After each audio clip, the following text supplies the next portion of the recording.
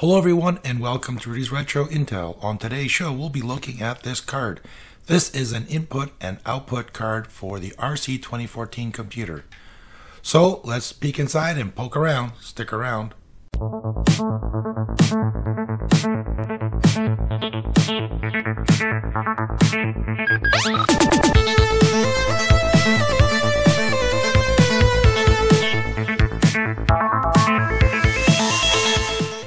Before we start the video, I want to do a shout out to everyone watching, my Patreon members, subscribers, and viewers like you. I really appreciate you coming.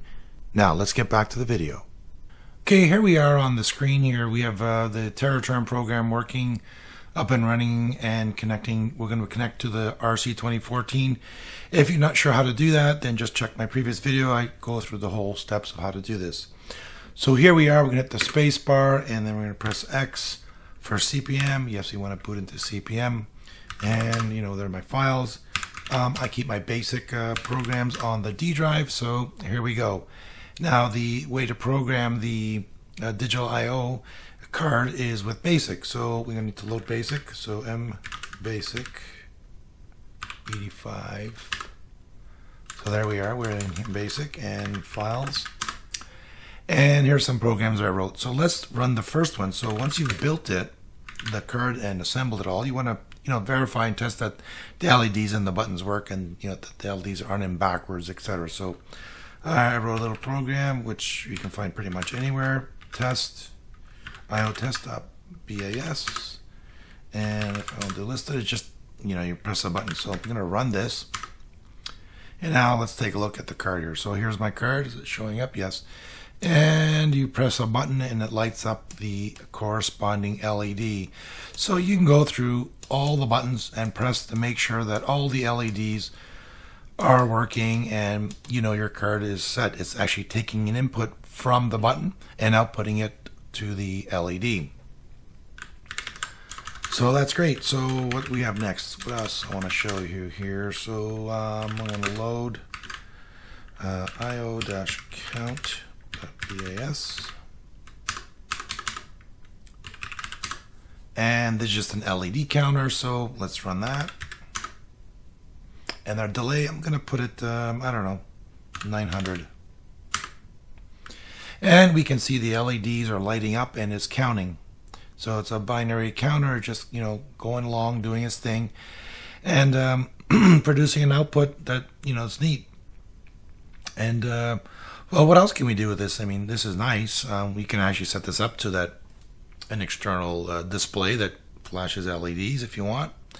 You could actually wire in um, an external unit to this, and instead of putting the LEDs on here or leave them there, um, you can uh, remove the buttons from here and the LEDs and have an external box or unit that would have all that on there. So you're not just looking at on the card, you can actually make something external for it. Um, let's see here. So um, next, no, I want to do load, load, IO dash alt.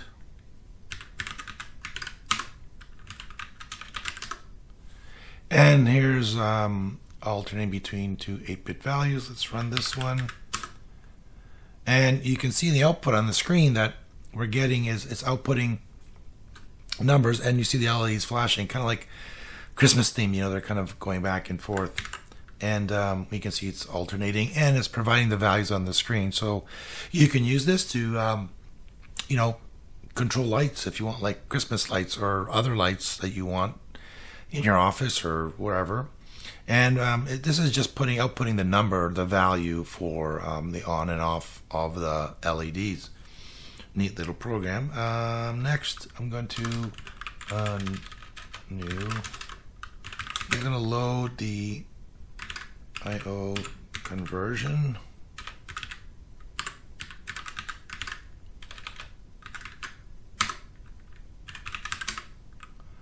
And this little program that I wrote that it just shows you the um, you can use it to display values. For example, um, want to convert, number one is convert decimal to binary. So um, I want to pick that. I want to pick zero and it's showing that the value of zero is actually zero zero zero zero zero zero zero, and that's so it's converted from one to the other. Um, we can do pick that again, and we're gonna choose um, I don't know, uh, twenty five.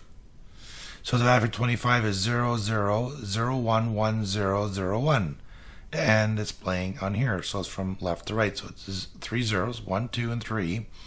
Then out 2, 1. So it's on, on. And then 0, 0, off, off, and 1 is on. So that's displaying the value.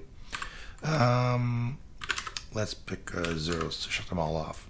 Um, you can also do um, 255, which turns them all on. That's the value uh, for all of them on. Now, um, let's go to number one again. I'm going to turn them all off just because it's a lot of glare on this. For, they're really bright. Um, we're going to run number two. We want to convert a binary number. So if we have a binary number and we want to convert that into a decimal, well, what's the value? I don't know. So let's do um, uh, 0110 um, 0110 and the decimal output is 102 so the conversion of that number of that binary is 102 and we can also get that uh, displayed on our screen. And um, yeah we can quit out this program and we can run um, there's other fun things you can do like uh, which is probably the most um, used program for um, this to display what's going on and we can do the run the Knight Rider thing where it's kind of going back and forth on the screen. Now, what can we do with this? I mean, this is pretty cool, and we're controlling lights and LEDs. But like I said, you could make an external board, have um, relays on that board. So once the you know uh, the light comes on or the power the LED comes on, it, it activates a relay. You can make the buttons, for example, like a sensor. So if um, you know you open a door, um, then it would activate that button, making that LED come on. Same thing with a window. You could con- probably use it to control other things like lights, uh, you know, Christmas lights, LED lights, you know, whatever lights you want. So it's a neat little uh, prototype board to, you know, it's a lot of fun. It's pretty neat, simple to program.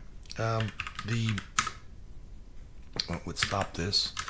Um, it, it, all you're really doing is outputting. So um, here we have the four, uh, the, the loop from zero to seven output.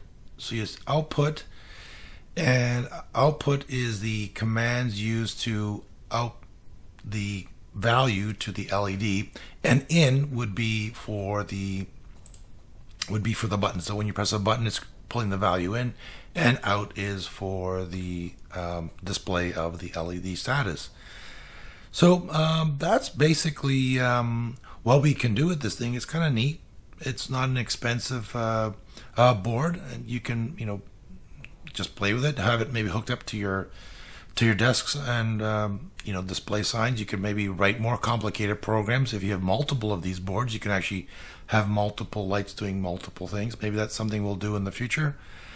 And um, yeah, that's that's pretty much the demo I wanted to show everyone today. Well, that's it for our show today. Hopefully, you liked this little demo of the digital I/O board for the RC 2014. Let me know in the comments if you've uh, used one or if you think it's neat. Uh, so probably all kinds of applications you can apply to this. So big thanks to my member, my Patreon members, subscribers, and viewers like you. Take care and have a great day.